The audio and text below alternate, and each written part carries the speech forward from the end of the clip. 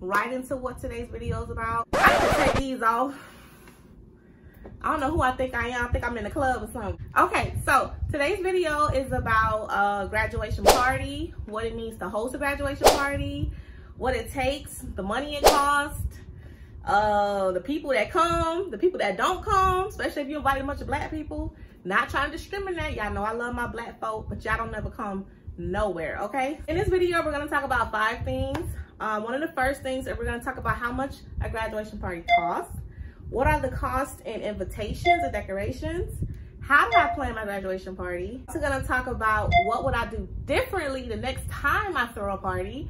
And also, I'm gonna show you guys some actual footage from Facebook Live of my actual party and how everything turned out. So, number one, how much did I spend on my graduation party? In total, so I would say for a party between anything between 30 to 50, you're gonna spend about 800 $900, okay?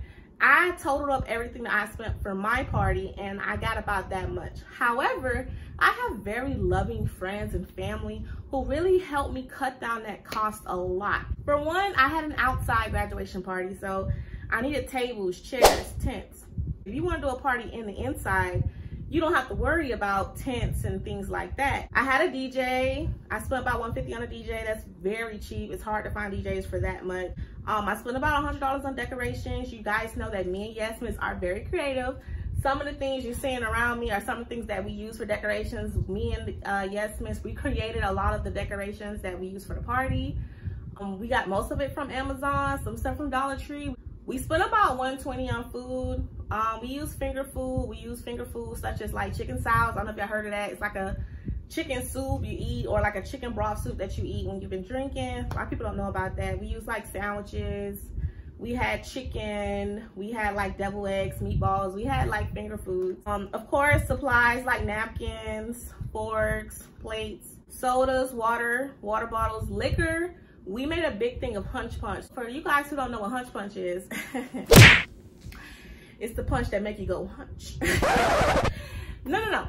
It's, I mean, uh, I, mean, you could do that. You could do that. But nah, like hunch punch is like, it's just a giant pitcher of liquor that can serve a party for about 50 to 100 people. Depends on how much of it you make.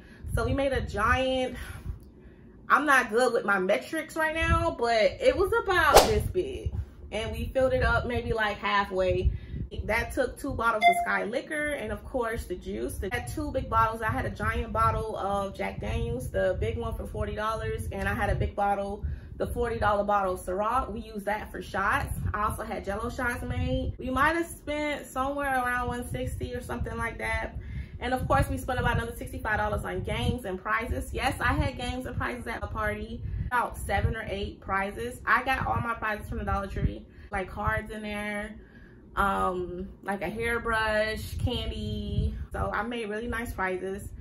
Um, between the prizes and the games that we came up with, about $65. So the total cost of my party came out to 810 But I have amazing family and friends and an amazing mom, of course. So you know, everybody helped pitch in for my party. And so if you have friends and family that's willing to pitch in for your party, let them know that you a graduate and you need to help me out, boo. It was actually cost effective, you know, if you have people to help you. But if you don't, you don't have to spend as much money as I did. You can definitely cut the cost in half by, you know, instead of a DJ, you could just buy a DJ mix or a CD and you could just put plug your speaker in and just play music that way. One of my games, that's what this board is here. This is the what year is it game. So what I did is got a bunch of pictures of me through over the years. And the way I would do it is the guests would put like their name, like their initials and a sticky note on what year they think this is in each picture. So like, let's say you think this is 2003, right? So you'll put your initials and you'll put 2003 on a sticker and then whoever got the most guesses right won the game. This is a board that I created myself. It was very simple. The board is like from Dollar Store. Uh, the glitter I got from Walmart. It was very simple. And I printed the pictures from Walgreens. It's a very simple game. And we had a lot of fun playing it, playing everything. Of course, uh, we played Drunk Uno. My sister made this board. That was a fun game. It's a great icebreaker to get your guests talking and socializing.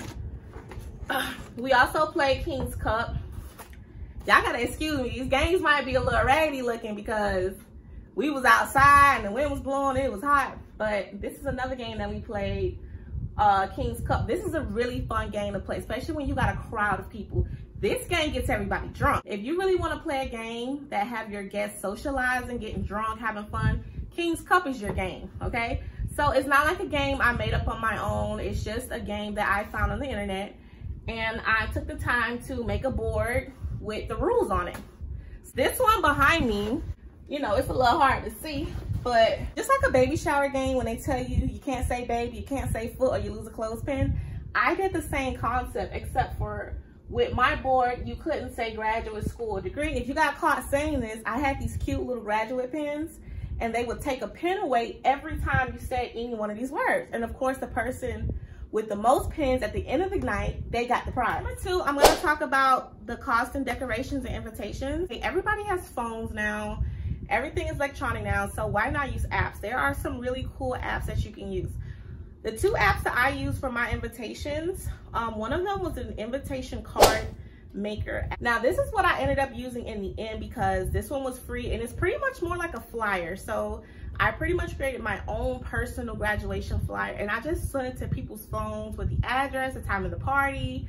I let people know that we're gonna be playing games and stuff, you know, to encourage people to come. And don't forget, when you having a graduation party, I don't care how much money you got. You better put monetary gifts accepted, okay? Let people know that I want you to come to my party, but um, hello, Come out them pockets, boo. I just did a whole four years. You better come out them pockets and show me a little bit of love and support. Not that I'm making it mandatory, but you know, it is very much appreciated. So Hobnob is another great app, but I think they only let you send out about 10 invitations before you have to pay for it. And then you have to pay, I'm not, I don't remember how much it was. I don't know if it was 10 or $20 or something per every time you want to send a uh, like 10 invitations to some people. What I really like about the app is the app lets people RSVP. So let's say I sent the app to my friend, she can go into the invitation that I sent to her, it'll let her RSVP and that they'll send a notification to me and letting me know that this person said they're coming for sure. You know what I'm saying? So I really like that. What I didn't like about the app is it does this thing where it makes you go into like a group chat or something, which I didn't really like, but it is a great nifty way of sending invitations to people. How did I plan it? How did I plan this party? Pretty much I sat down with a pen and a paper and I sat down with my mom and my mom helped me a lot. She says, okay, well, this is how much this is gonna cost. This is what we're gonna do. This is how food's gonna go. This is how we're gonna do with decorations miscellaneous. You know, plan as you go. Plan for the day. You don't know if it's gonna be raining. You wanna plan ahead. You wanna, you wanna give people enough time to know about your party so that they can request days off. I constantly checked on the weather. I sat down, I had my mom do the food for me, which really helped out. I had a friend who helped me with the DJ. You know, I had all these things in place. You have to really sit down and organize the party and events into everything. And it's best to do it with a friend or a family member because they can always think of things that you might have forgot to think about. Okay, four, what would I do differently? Um, I think my party came out great. I had a great time, but I was exhausted, okay? I was down and just entertaining everybody. I'm entertaining friends that I haven't seen since middle school. I'm entertaining family members I haven't seen in years or months. I'm going around trying to entertain everybody, let them know I'm happy that they came. I was exhausted. It's my party. Like I want to sit down and relax and have a drink like everybody else. But I was so concerned about who didn't get a plate, who didn't eat, who didn't drink. I was exhausted. You know, a lot. I love yes, miss, as much as she get on my nerves. She helped me a lot, but I would have preferred to have a host, somebody in charge of making everybody have a good time. Host, I would definitely got a caterer, okay? Even though we had finger food, there was a little bit issue, you know. I would have rather had the finger food pre-prepared, you know, everything put together in like a plate or a platter or a to-go plate so that everybody can just get a plate. Nobody's hovering over the food. Nobody's taking more than the other person. That way everybody gets a chance to eat. I would definitely have somebody designated to do the food. Um, I have my party outside. I would have much rather have it inside. Me and my sisters spent the day before doing decorations. if you plan on doing your own decorations, which is fine, always plan it a day. Do not do decorations the same day of the party. You have no idea how your decorations are gonna turn out. You have no idea what trouble you might have setting up. You don't know if you might have to go to the store and get something else. It's always best to decorate like two days in advance if you can. If you wanna do it, I hope some of these tips and advice I was talking about got you thinking about the party or encouraged you to have the party. And I really hope that helped you a lot with some of the things that I was saying. So with that being said, let's go into the recap of what my party was like. I'm on my sister's Facebook Live. This is the first time I'm seeing any videos from my party, okay? And you know, before y'all watch this, I have been doing a little. So just don't judge me, okay?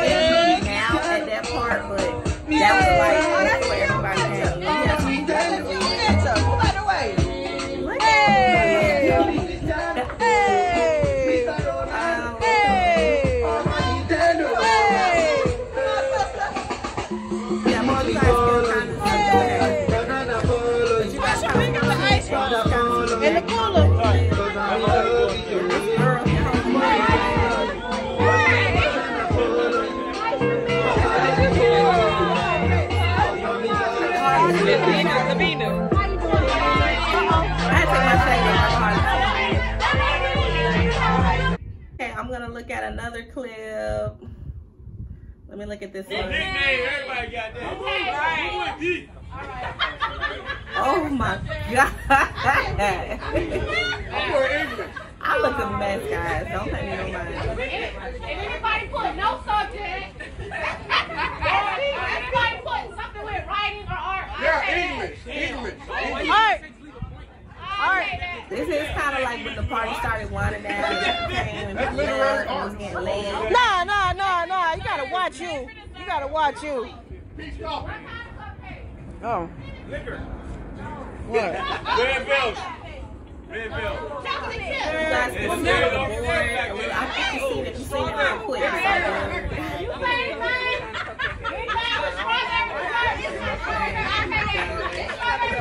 uh, we was playing the Who Knows the Graduate Best game. And I had to go and give them the answers. And my friends was like, uh-uh, uh-uh. I know what size you wear. I know your favorite food. Uh-uh, that is not your favorite hobby. hey, everybody know I like cheese. Right. Okay, so who won? My butt looks so bad in that dress. I know who did. Lord. Who did, Skip through the video a little bit. So I done got you three times. So who had the most? I don't call them out. Whoever had 12. Whoever had 12 is the winner. This video long, Who had 12? You all day with me watching. I just skip through it a little bit. You got 12? I told y'all one. But where you come from? How you know her? I don't even get that. How you know her? Oh, I don't even get that. I ain't never seen him. Oh, so I skipped to the end That's all to say. That's your crime. Yelling. Well, where you know him from? How he know you? Me and D go back long time. Yeah. Wait, wait, wait. Hold up. Hold up. Hold up. Who is him? It's Brianna brother. So Brianna my friend Lindsay actually won the Who the Graduate game. My mom's all yelling. How he won? How he won? Who is he him? Won so I took a picture with him because he the one who ended up winning the game. But I'm pretty sure my best friend Brianna, I'm pretty sure her ass helped him win. Wait, wait, wait, hold up. Yes. Remind you guys, my parents were playing. Wow. No wonder she was gone and missing in action. but hey, so we gonna do the scratch offs. Who got the winning scratch offs? You got one winner. You got the God Mama. Go on over here and pick your prize, God Mama. Who else got a lucky? Who got a scratch off? What you gotta say? You gotta have a lucky ticket, Mom. I got a lucky ticket. Your ticket ain't lucky, Mom. What that say? I got a lucky ticket. Lucky man, you not lucky. You lost. Lucky me, you lost. Your card gotta say. It was. We played a lot of games. We also had this bingo scratch off game. And if you lost, it would say lucky. And if you won, it would say winner. So my mom's like, I'm lucky. I won. but anyways, guys, thanks for tuning in with me. Thanks for sharing this moment with me. Thanks for watching. Keep subscribing. Keep joining Team Lola. And I will see you guys next time.